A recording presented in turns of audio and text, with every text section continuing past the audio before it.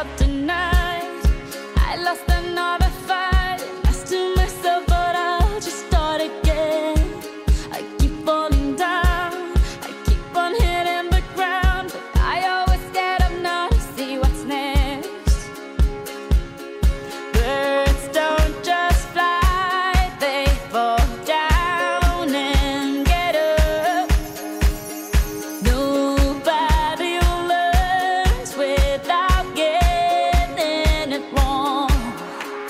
I won't give up.